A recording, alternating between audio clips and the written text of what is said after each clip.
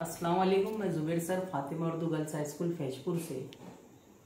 प्यारे बच्चों, हम आठवीं जमात के मजमून जनरल साइंस के सबक नंबर तेरह कीमियाई तब्दीली और कीमियाई बंदिश, इसका मुताला कर रहे हैं। प्यारे बच्चों, इससे पहले की वीडियो में हमने देखा कि कीमियाई तब्दीली किसे कहते हैं, इबारती मसावत और कीमियाई तामुल को किस तरह लिखा जाता है और किस तरह ज़ाहिर किया जाता है। प्यारे बच्चों हमने रोज़मर्रा की ज़िंदगी के अंदर कुदरती कीमियाई तब्दीली और इंसान की पैदा करदा तब्दीली इसके बारे में भी मालूम हासिल कर चुके हैं। प्यारे बच्चों, हम आज की वीडियो में कीमियाई बंदिश, किसे कहते हैं, इसके बारे में मज़ीद मालूम हासिल करेंगे। तामुल के दौरान कीमियाई बंदिशें टूटती है और नई कीमियाई बंदिश तैयार होकर नई अशिया हासिल होती है। इलेक्ट्रॉन का मुसमन या सनाई हालत मुकम्मल न रखने वाले जौहर कीमियाई बंदिशें तैयार करते हैं। कीमियाई बंदिश तैयार करते वक्त जौहर उनके गिरफ्ते इलेक्ट्रॉन का इस्तेमाल करते हैं, ये कीमियाई बंदिश कहलाती है।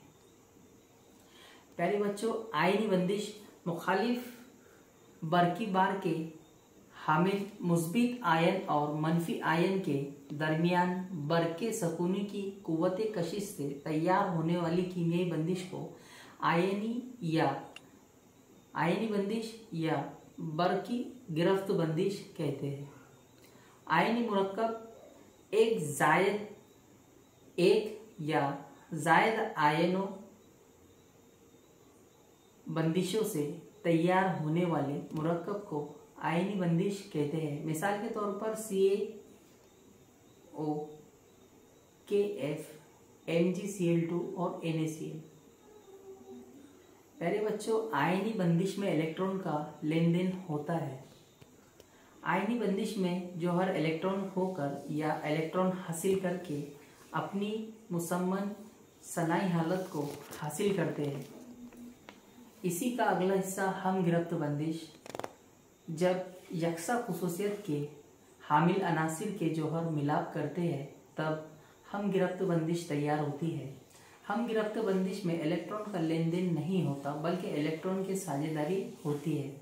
साझेदारी करने वाले इलेक्ट्रॉन दोनों जौहरों में मुश्तरक होने की वजह से दोनों जौहरों की मुसम्मन सनाई हालत मुकम्मल होती है।